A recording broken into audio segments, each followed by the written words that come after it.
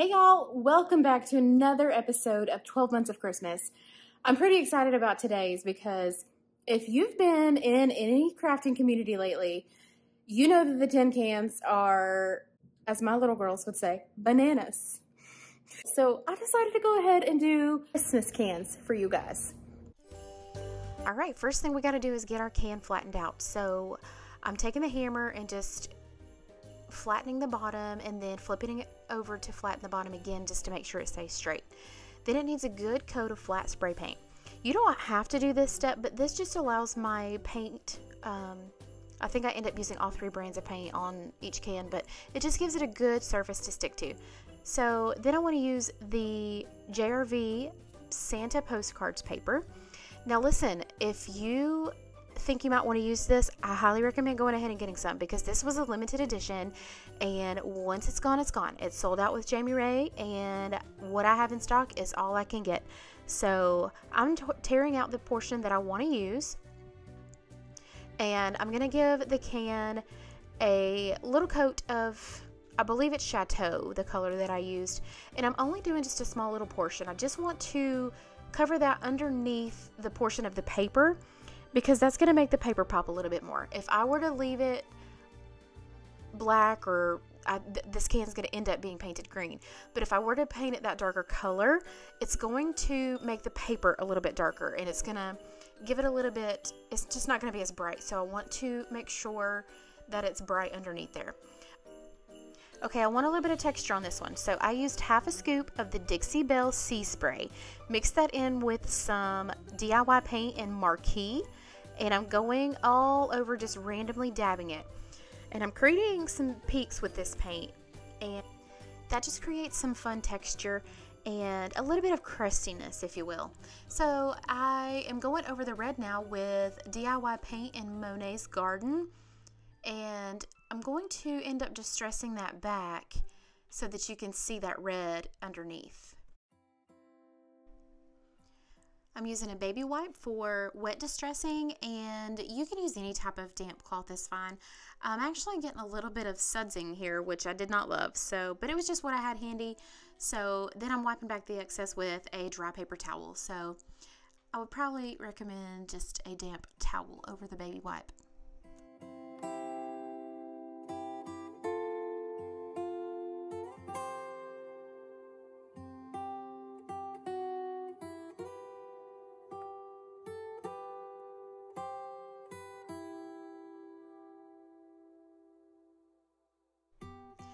Okay, so I found this board in my stash. So unfortunately, I cannot tell you what stain color this is, but this is just a 1 by 12 piece of pine and 24 inches long. So I am pre-drilling a hole in the back of the can and I just screwed it into the board.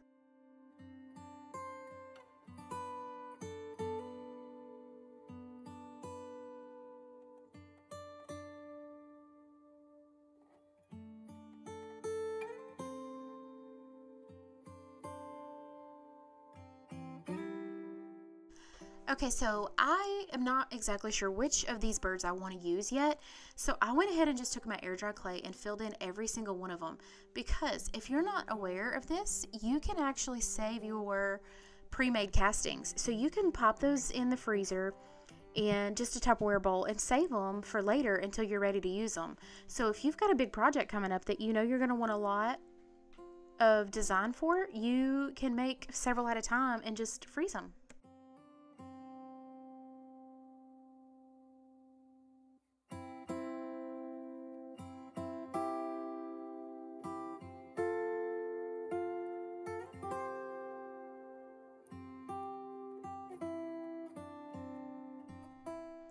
Laid out my birds to kind of get a visual of what I think I want the finished project to look like. And I'm going back and adding the Titebond Quick and Thick to the back and placing them back down. I'm giving this a good coat of Dixie Belle's dried sage and this is going to just be the base because we're going to do some really cool effects with this one but it just needs a base coat to start with. So this color is perfect. And this, I'm just imagining this on a piece of furniture. This color is beautiful. So next up is the Iron Orchid Designs typesetting stamp, and I'm just going to spell out joy. And I'm laying it out here on my tissue paper because that's what I'm actually going to stamp it on. I love these thin mounts. We actually do have these on the website at ruthandruby.com, so you can cut these up and use them in various sizes. So, okay, one more tip I need you guys to know. We sell empty ink bottles. A lot of people don't realize that you can actually mix the IOD inks. My stamp pad had the color Newgrass, but it's just a little bit too bright. So I mixed some China Blue and turmeric about 50 50 to get a darker green.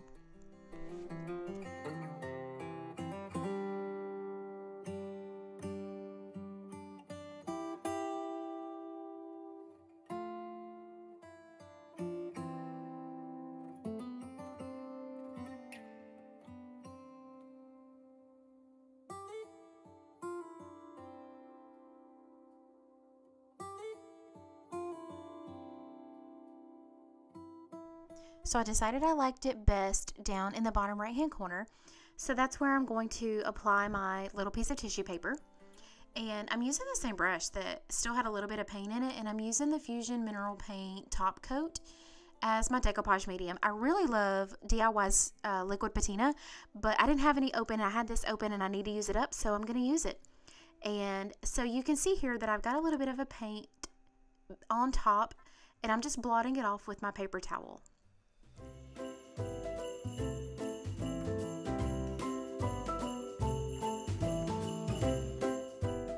All right, now I'm going to break out some of the Fusion Metallics. And this one is bronze. And I am going to go over this um, a little heavier in some areas, a little lighter in others. But I'm really getting into the detail of the birds.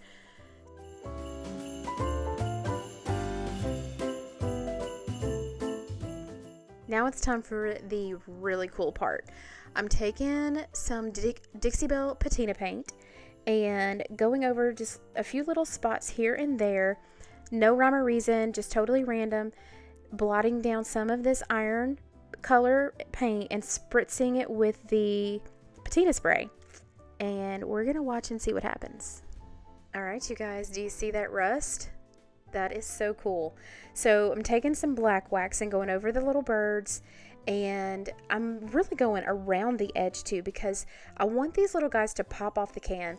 So by going around the edge, it's really defining them and then I'm wiping back the excess so that way the black wax has settled into the details and then I'm rubbing back to have that bronze come back through on top. And I don't know, you just really have to see it here in just a second to really see the definition that this this process gives. Música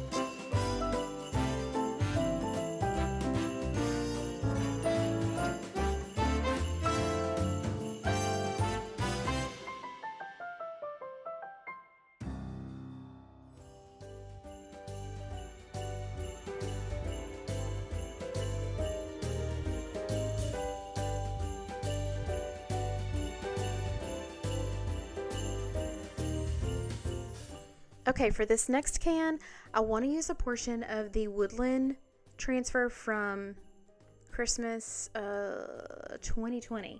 So I'm really sorry that you cannot get this transfer anymore, but I'm going to use this little wreath out of it, okay? So don't be mad at me. I really wish that I could order more for you, but it's discontinued. Okay, so I'm doing the same technique here with the farmhand stamp and just stamping onto my tissue paper because I thought this one would be fun to make it personalized and put a little H on it.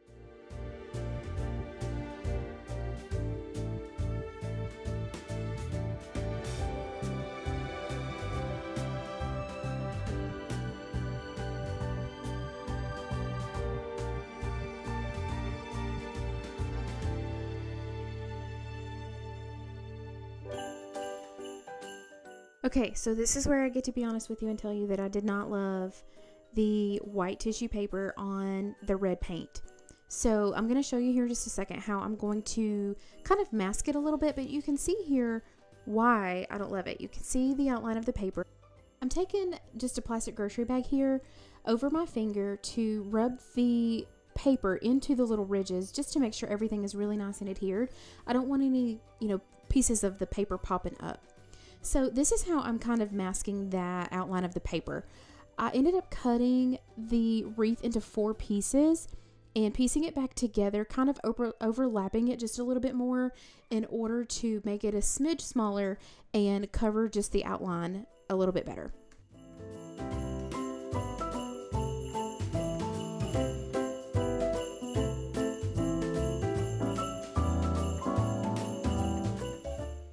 Right, I'm adding a little bit of dark wax. All actually, I think it's black. It's black wax all the way around, and a little bit of gold wax just to give it a little shimmer on top. All right, I'm going to add some of my rusty wire to this one. And since this can is larger, I doubled up the rusty wire. And you can see in my previous video, I go in a little bit more in depth on exactly how I did this. So I'll be sure to link that below so that way you can watch that video to get a little bit more in-depth tutorial. But here's the finished project. What do you think?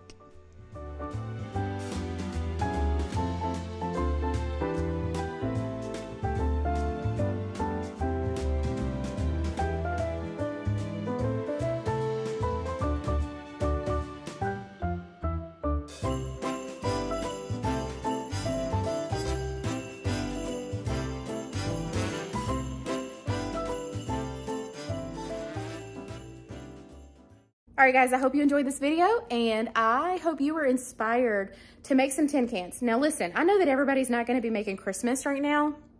So my goal is for you to save this video into a playlist for yourself. That way, come, you know, late fall, whenever you have a collection of videos. I'm sorry that I talk with my hands. I don't know why I do that. You could tie it behind my back and I probably wouldn't be able to speak. Anyways, um, go ahead and save the video so that way when you are ready for Christmas projects, you've got access to the videos. You remember where they're at. So let me know in the comments below, what do you think about these projects today? Do you love them? Are you tired of seeing them yet? I hope not because I like them. And I think that you're gonna keep seeing them for just a little while longer. So if you haven't done one yet, because you think, oh, this is a quick fad, it's gonna be over in a minute by the time I gather my supplies. I don't think so. So go ahead and get you some supplies save your cans, and go ahead and use this same technique to make your spring or summer decor. And just remember that we are doing this all year long. On the 25th of every month, you get a bonus video, and I will see you Monday.